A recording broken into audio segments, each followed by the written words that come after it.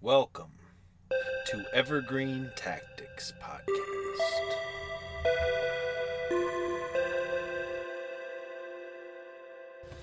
Hello, and welcome to the Evergreen Tactics Podcast. Today, we're going to be talking in a more philosophical point of view than a business and marketing, but we will return to our regular scheduled uh, broadcast after this. But I, w- I was reading this uh, book by Leo Tols- Tolstoy, Tolstoy, I don't know, but it just was so profound and so powerful, and it answered the age-old question: What is the meaning of life? And he just did such a good job of laying it out there that I have to talk to somebody about it. So, here we go. The thing that I love about the article, okay, I recommend anybody just Google Leo Tolstoy, uh, The Meaning of Life, and you'll be able to find what I'm talking about. But he's just so honest and so true in his mission to figure out the purpose of life. But he's also very cynical. and he, he realizes in the beginning that there are so many things wrong with living that living is just suffering. And the suffering increases and it just keeps on going. And the only salvation is death. To, and this is a quote from him Today or tomorrow, sickness and death will come. They had come already. To those I love or to me, nothing will remain but stench and worms. Sooner or later, my affairs, whatever they may be, will be forgotten, and I shall not exist. Then why go on making any effort? How can man fail to see this? And how go on living? That is what is surprising. One can only live once. One is intoxicated with life, but soon as one is sober, it is impossible not to see that it is all a mere fraud, a stupid fraud. That is precisely what it is. There is nothing either amusing or witty about it. It is simply cruel and stupid. So, this is just the beginning of his rant. But it's so true. Like, I feel like I, I consider myself pretty well read. Like, I basically screwed my life, screwed the pooch in the beginning of my life. And I did all kinds of crazy shit, but I, I hit rock bottom. And I decided that I was just going to read a book every day. And I have. And when you begin to read, you know, you, you really get a new perspective on life. But so much crazy stuff happened when I was just ignorant to the world, to the way things work. Like when I was just completely ignorant and I just let life happen like like a dog, you know? And then I started reading all these books and I, I became a ferocious reader. And the more I learned, I felt like I was growing. I felt like I was expanding in so many ways. I'll never stop learning. But it did get to the point where I, I felt like I had read so much about life and still no answers. It it almost does feel like sometimes like the purpose of life is nothing. It's just fucking stupid. Things happen. We don't know why. So he goes on, uh, Leo Tolstoy, to go into philosophy and science and religion to try and find the real answers of the purpose of life and I just could relate to this so, so amazingly well, and I have to share the next quote with you. He goes, My question was the simplest of questions, lying in the soul of every man. From the foolish child to the wisest elder, it was a question without an answer, to which one cannot live. As I had found my experience, it was, What will come of what I am doing today or shall do tomorrow? What will come of my whole life? Differently expressed, the question is why should I live? Why wish for anything or do anything? I can also be expressed thus Is there any meaning in my life? that the inevitable death awaiting me does not destroy. Damn! he just brings the heat. And don't worry, it will get slightly more uplifting, but it, it stays pretty dark and cynical for a little while. Here's the next quote There are all words with no meaning, for in the infinite there is neither complex nor simple, neither forward nor backward, nor better or worse. One who sincerely inquires how he is to live cannot be satisfied with the reply, Study in endless space the mutations, infinite in time and in complexity, of the innumerable atoms, and then you will understand your life. So also, a sincere man cannot be satisfied with the reply, study the whole life of humanity, of which we cannot even either know the beginning or the end, which we do not even know a small part, and then you will understand your own life. He just drops the mic right there. Seriously though, I've I've read so many books trying to figure out how to be happy, trying to figure out what to do with my life. And and I really thought back in the day when I started reading these books, I mean, I was reading great books though. You know, I was reading Dale Carnegie, How to Win Friends and Influence Others, uh, Seven Highly Effective, Seven Habits of Highly Effective People, The E Myth. Like these are just a few books that were really opening my mind, right? And I just kept digging. I re- I read it, a whole bunch of Nietzsche, and I read lots of the old philosophical books. And I just kept digging and digging, and I was praying and hoping I would find answers. You know, I studied philosophy, I studied science, you know, I studied black holes. I, I, I learned so much, but I, I still never really got the answer I'm looking for. And it's because the answer is so stupid. There is no answer. There, in science, we try and study it, right? And it just goes smaller and smaller and smaller, and there's an even smaller piece inside of this smaller atom, inside of that, you know, and it just keeps going infinitely, right? And then you try and look into space, and it just keeps going infinitely. You even can meditate, and you can try and find the infinite inside of you, and it just goes on infinitely. It's insane because we are just strange creatures in a giant world, and we can do all the science to try and figure out. There's nothing wrong with science. Science is glorious. Don't ever think I don't approve of science. But when we're trying to figure out the purpose of life, science doesn't necessarily give us the answer. It gives us more questions, if anything. So Tolstoy moves on from science and he becomes to to take a look into philosophy to see if he can find the answer to the purpose of life. And this is a quote from him Philosophy not merely does not, philosophy not merely does not reply, but is itself only asking that question. And if it is real philosophy, all its labor lies merely in trying to put that question clearly Instead of an answer, he finds in philosophy the same question, only in complex form. He bemoans the inability to either science or philosophy to offer a real answer. Another quote One kind of knowledge did not reply to life's question. The other kind replied directly, confirming my desire, indicating not that the result at which I had arrived was the fruit or heir or of a diseased state of mind, but on the contrary, that I had thought correctly, and that my thoughts coincide with the conclusions of the most powerful human minds. He gets frustrated, all right? And he goes, Why does everything exist that exists? And why do I exist? Because it exists? it's just so powerful. Such a powerful line. Why does everything exist that exists? And why do I exist? Because it exists.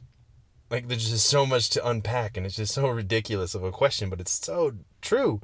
Like, do we exist because everything exists, or does everything exist because we exist? Like, are we, you know, there's always those theories, like it's all a, an illusion or whatever. And I feel like everybody has had that question, you know, throughout their life as things go, you know. So, Leo uh, Tolstoy goes on from science and philosophy and tries to find some reasoning. He, he dives into Buddhism as well as Christian Christianity, um, and he, he found among them, you know, the, the different spiritual and religions, there are four strategies for managing the existential despair, but none that resolve it. And then here's a quote I found that for people of my circle, there were four ways out of the terrible position in which we are all placed. The first was that of ignorance. It consists in not knowing, not understanding, that life is an evil and an absurdity. For people of this sort, I had nothing to learn. One cannot cease to know what one does not know. The second way out of this Episcopalianism, I don't know what that means, it consists, while knowing the hopelessness of life, in making use, meanwhile, of the advantages one has, disregarding the dragon and the mice, the licking and the honey, in the best way, especially if there is much of it within reach. That is the way in which the majority of people in our circle make life possible for themselves. Their circumstance furnishes them with more of welfare and than of hardship, and their moral dullness makes it possible for them to forget that the advantage of their position is accidental, and that the accident that has today made me a Solomon may tomorrow make me a Solomon slave. The dullness of these people's imagination enables them to forget the things that gave Buddha no peace, the inevitability of sickness, old age, and death, which today or tomorrow will destroy all of these pleasures. The third escape is that of strength and energy. It consists in destroying life. When one has understood that it is an evil and an absurdity.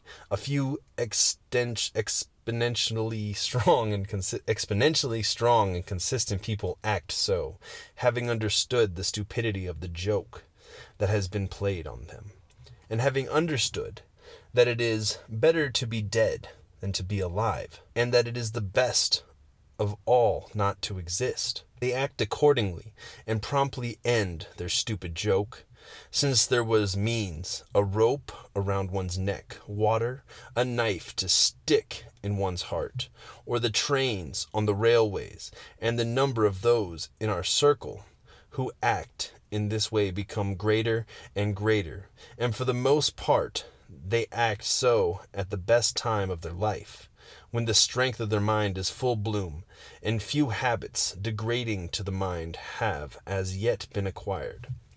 The fourth way, out of that weakness, it consists in seeing the truth of the situation and yet clinging to life, knowing in advance that nothing can come of it. People of this kind know that death is better than life, but not having the strength to act rationally, to end the deception quickly and kill themselves, they seem to wait for something. This is the escape of weakness. For if I know what is best, and it is within my power, why not yield to what is best? The fourth way was to live like Solomon, knowing that life is a stupid joke played upon us, and still go on living, washing oneself, dressing, dining, talking, and even writing books. This was to me repulsive and tormenting, but I remained in that position. Finding himself in the fourth category, Tolstoy begins to question why he didn't kill himself.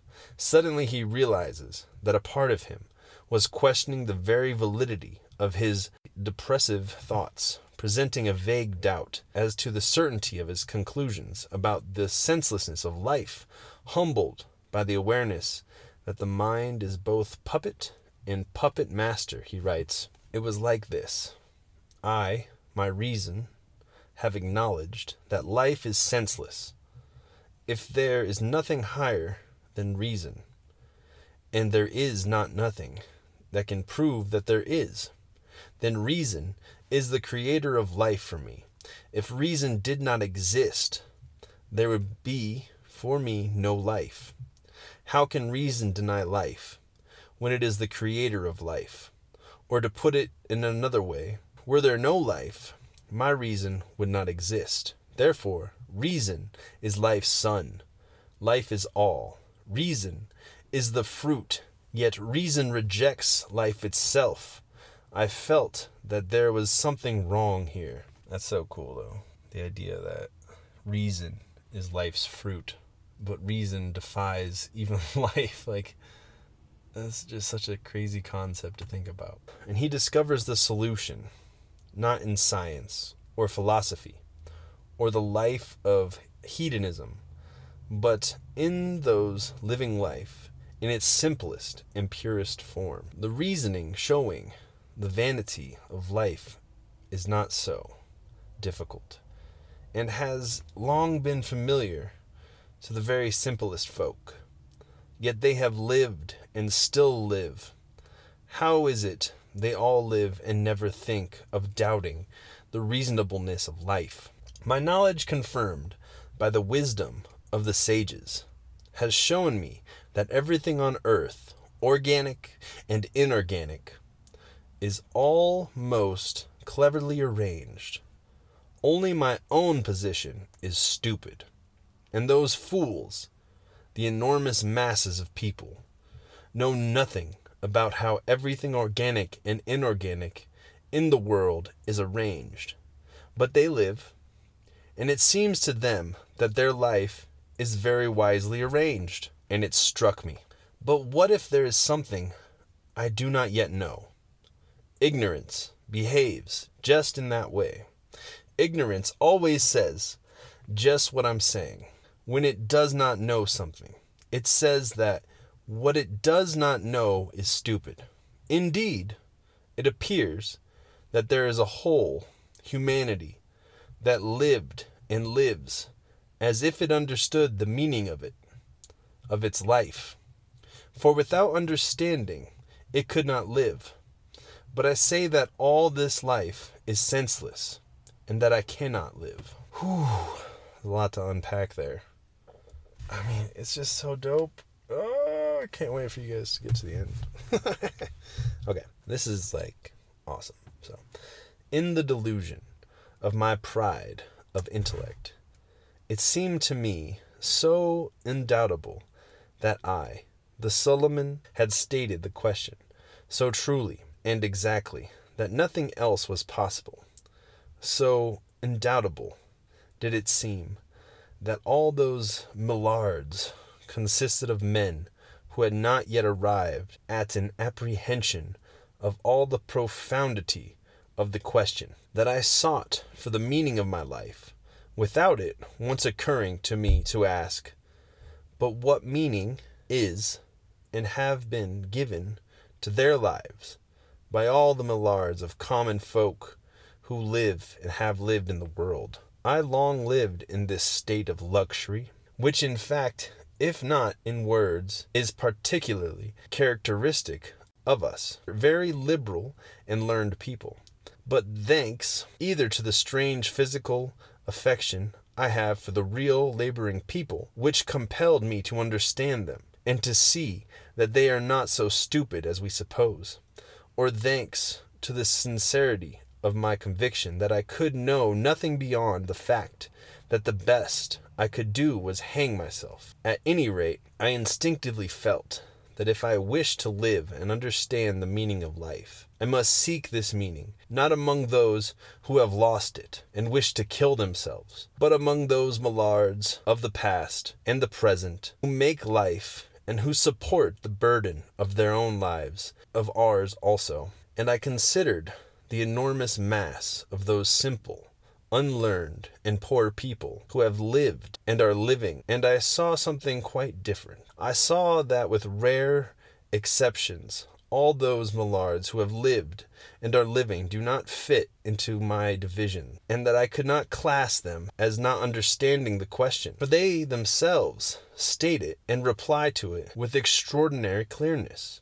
Nor could I consider them Epicureans, for their life consists more of perversion and suffering than of enjoyments. Still less could I consider them as irrationally dragging on a meaningless existence, for every act of their life, as well as death itself, is explained by them. To kill themselves, they consider the greatest evil.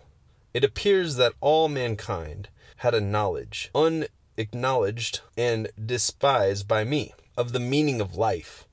It appears that reasonable knowledge does not give the meaning of life, but excludes life, while the meaning attributed to life by the Millards of people, by all humanity, rests on some despised pseudo knowledge. He considers the necessary ir- irrationality of faith and contemplates his unfair ask of forsaking reason.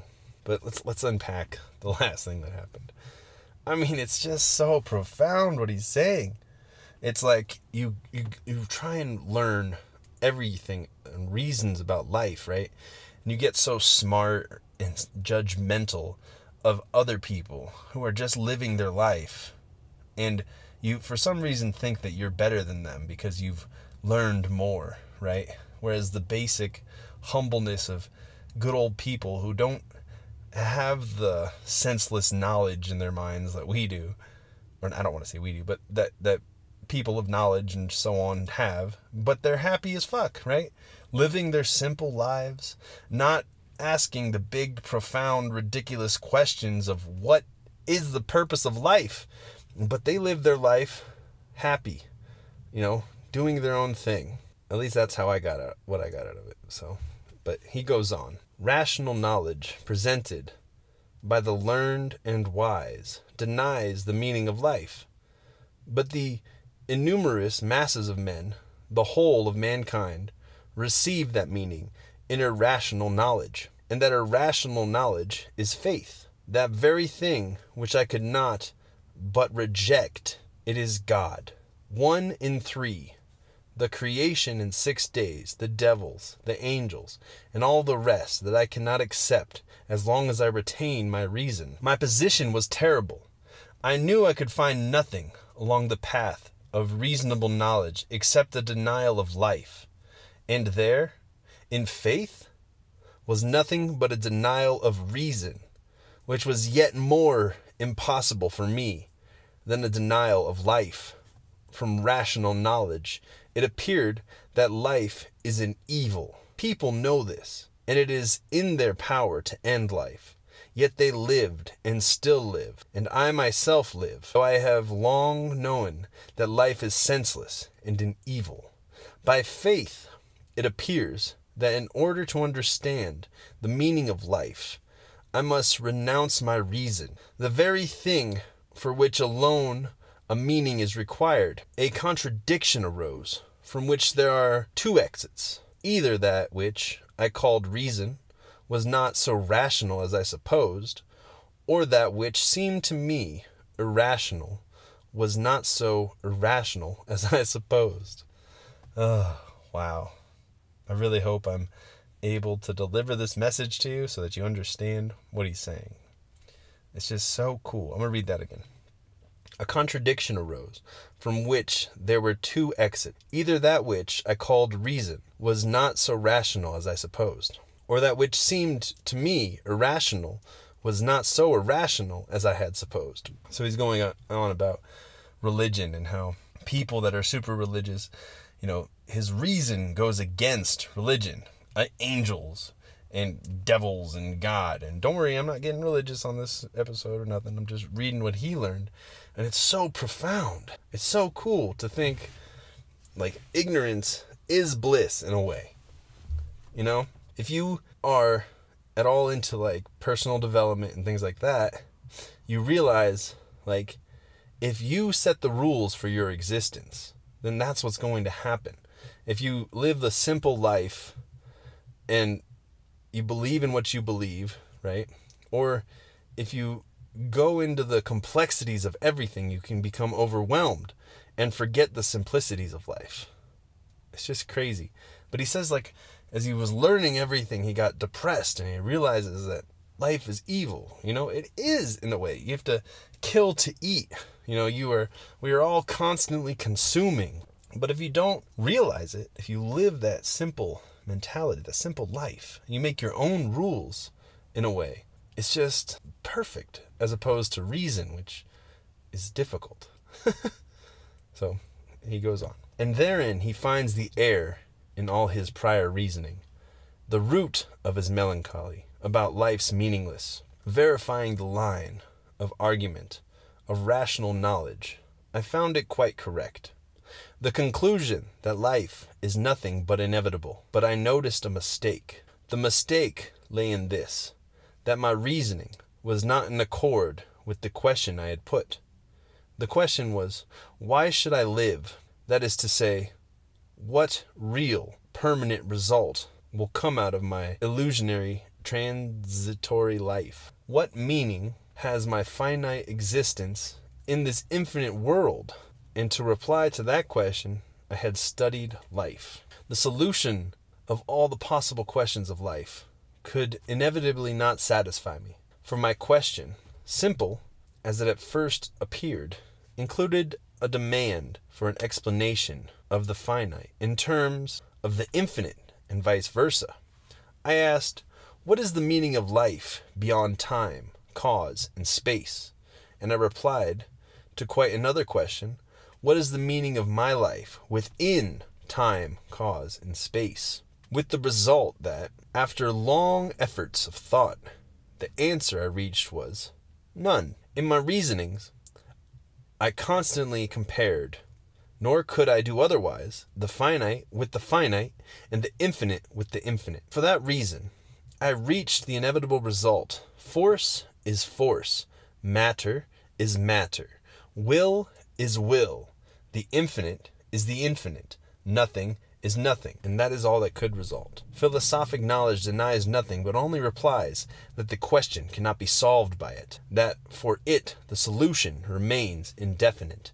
Having understood this, I understood that it was not possible to seek in rational knowledge for a reply to my question, and that the reply given by rational knowledge is a mere indication that a reply cannot be obtained by a different statement of the question, and only when the relation to the infinite is included in the question. And I understood that however irrational and distorted might be the replies given by faith, they have this advantage, and they introduce into every answer a relation between the finite and the infinite without which there can be no solution. So that besides rational knowledge, which had seemed to me the only knowledge, I was inevitably brought to acknowledge all live humanity has another irrational knowledge faith, which makes it possible to live. Faith still remained to me as irrational as it was before, but I could not but admit that it alone gives mankind a reply to the questions of life, and that consequently it makes life possible. Tolstoy goes on and says, I understand that faith is not merely the evidence of things not seen, etc., and is not a revelation that defines only one of the indications of faith, is not the relation of man to God. One has first to define faith and then God, and not to find faith through God. It is not only agreement with what has been told one, as faith is most usually supposed to be, but faith is a knowledge of the meaning of human life, in consequence of which man does not destroy himself, but lives. Faith is the strength of life. If a man lives, he believes in something. If he did not believe that one must live for something, he would not live. If he does not see and recognize the illusionary nature of the finite, he believes in the finite if he understands the illusionary nature of the finite, he must believe in the infinite. Without faith, he cannot live. For man to be able to live, he must either not see the infinite or have such an explanation of the meaning of life as will connect the finite with the infinite. And yet, the closer he examines faith, the more glaring he finds the disconnect between it and religion, particularly the teachings of the Christian church and the practices of the wealthy. Once again, he returns to the peasants as a patron of, of spiritual salvation, of bridging the finite with the infinite, and once again seeing in their way an ethos most clearly resembling the Buddhist philosophy of acceptance, in contrast with what I had seen in our circle, where the whole of life is passed in idleness, amusement, and dissatisfaction. I saw that the whole life of these people who passed in heavy labor, and that they were content with life, in contradiction to the way in which people of our circle oppose fate and complain of it on account of deprivation and suffering. These people accept illness and sorrow without any perplexity or opposition, and with a quiet and firm conviction that all is good, in contradiction to us, who the wiser are the less we understand the meaning of life and see some evil irony in the fact that we suffer and die.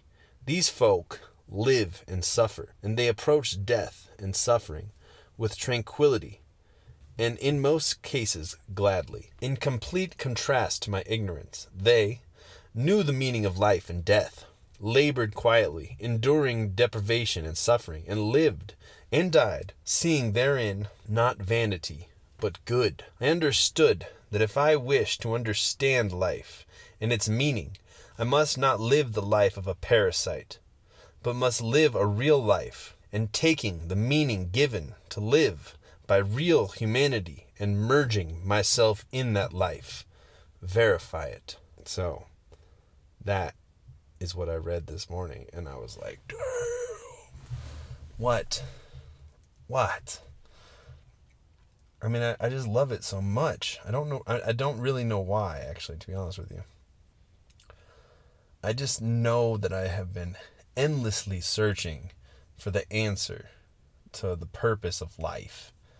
Like constantly. I I dug deep in so many books and I've I've you know tried to ride the backs of giants and read everything and have mentors and stuff, you know.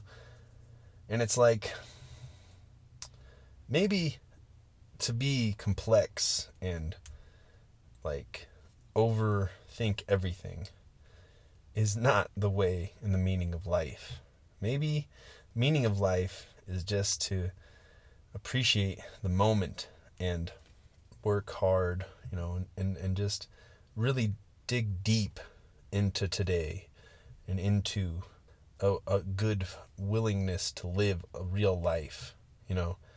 Not not try and stand out from all the people that I judge as different or crazy or like you know so I'm just talking for myself but I'm an entrepreneur.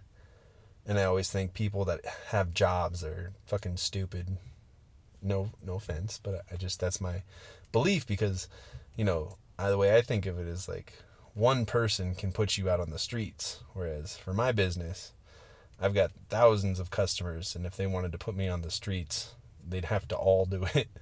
Whereas you have one boss, and you don't work for yourself. But but there's also something so rewarding and, and comforting of having a job where you, you can just kind of show up and go through the motions or something, you know. And it's the same thing for life, though. It's like so many people just live very simple lives and they're comfortable and they're satisfied, I hope. You know, and they're not trying to just fucking own the world. You know, like I, I always feel like I'm on such a, a big mission and to do so many things and, and I'm ne- really never getting anywhere. I don't think it is to live less though. I don't I don't think that's the purpose of life, you know. But what what Tolstoy says is, you know, to be to really find the meaning of life, you have to not be a parasite, but you have to live a real life, taking the meaning given to live by real humanity and then merging yourself into that life to really feel alive, to be part of a culture, a tribe. You know, you have to kind of go go all in on on your clique, your people, you know. See how they live.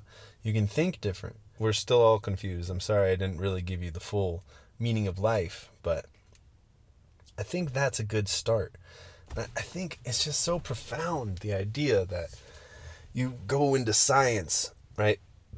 And you try and learn everything, but it's infinite, right? You go into philosophy, and instead of giving you the answers, they just show you how important getting clear on the big question of everything is. You know, and then you go into religion, and, and your reason goes against everything in religion, right? It, your reason is so strong and, and, and so profound that how could religion be a thing? Right? And then you try and go into religion and it, and it, it, it just doesn't sit right. But the people that do have their religion, their peace with whatever happens in the world, they're content. They live that real life. I don't I don't know how many people nowadays actually live that real life. I mean, I'm sure I'm in America, so I'm, I'm like spoiled. I don't I don't see like the I guess there's like the good old boys, but I, I don't know. I, that just doesn't seem quite like what he's talking about. But I can picture it in my head, you know, like the people that work the farm and you know rice paddy fields or whatever, and, and that's their whole life, and and they they're they're happy and and they take life as it comes, and they don't try and get out of their comfort zone. I mean, it doesn't seem like what life is about, but it, at the same time, it's like if we make the story something not as crazy, right, as as the story that we have going on in our brains. If we simplify our lives, right? If we don't have to be like everyone on social media or we don't have to make everybody fucking happy. And we just live a content, simple life without all the crazy shit that we make up with our reason. You know, if we just take a step back and try and make things happen that are real to us, then that's a good life. And that can be your purpose for life that can be my purpose is to simplify and just really merge yourself into that beautiful life and not live the life of a parasite, but live a real life and take the meaning given to live by real humanity and merging yourself with it. All right, guys. That was long. If you listened all the way to the end, you're a fucking legend. Uh, love you guys. Peace. Right now is the best time on earth to start a podcast. I have personally been working on this course for over a year to make sure that I deliver you the highest quality course possible for creating a, a podcast, launching a podcast, and monetizing a podcast. Right?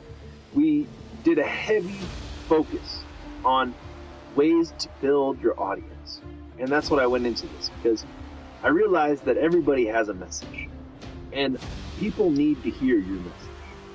So the most important thing for a podcaster is to be able to grow their audience and to know how to do it. And that's what I went into this course trying to figure out. Okay, how can I help people grow their podcast audience in the most efficient way possible? And what I discovered is going to blow your freaking mind. Okay? It has revolutionized my life and my podcasts and any, everybody that I've shared it with. Just how powerful this system to grow your podcast audience is. And I am so excited to finally bring it to the world. Go to evergreentactics.com and purchase the podcast promotion course.